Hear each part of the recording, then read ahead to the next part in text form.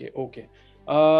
अच्छा ट्रेनिंग के बाद आप, जब आप अपनी बटालियन के साथ जुड़ गए तो उस टाइम पे एक असिस्टेंट कमांडेंट को क्या गाड़ी मिलती है? कुछ ऐसा कुछ प्रावधान है गाड़ी का? यार, गाड़ी का ऐसे है, देखो, जैसे ही आप यूनिट ज्वाइन करोगे तो एक असिस्टेंट कमांडेंट को अल्टीमेटली कंपनी कमांडर ही होता है। तो कंपनी को कमांड करना है आपको। तो कंपनी ऑब्वियसली फ़ील्ड में रहेगी बटालियन से दूर रहेगी। और बटालियन से अराउंड डिपेंडिंग अपॉन की किस बटालियन में है बीस तीस चालीस पचास साठ सत्तर अस्सी नब्बे किलोमीटर की डिस्टेंस रहता है। तो हर कंपनी में एक लाइट व्हीकल होता है। कई जगह पे वो जिप्सीज हैं कई जगह पे वो थार है ठीक है? और यूनिट टू ये पोस्ट टू पोस्ट भी वेरी करता है।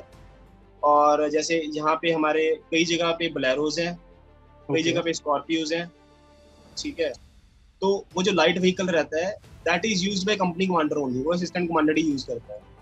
तो जब आप फ़ील्ड में आ जाओगे तो आप हमेशा अपने साथ एक या दो गार्ड डिपेंडिंग अपॉन की उस एरिया में रिस्क प्रोफ़ाइल कैसी है सिक्योरिटी थ्रेट कितना है, कितना नहीं है, आप एक स्कॉट लेके जा सकते हो। स्कॉट मतलब एक जिसको सिक्योरिटी गार्ड बोलते हैं हम।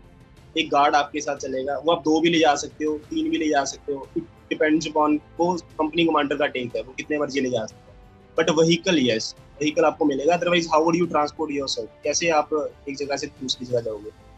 तो व्हीकल भी वेरी करेगा और गार्ड्स भी आपको जो स्पॉट्स हैं, वो भी वेरी करेंगे कि उस एरिया का रिस्क प्रोफ़ाइल कैसा है।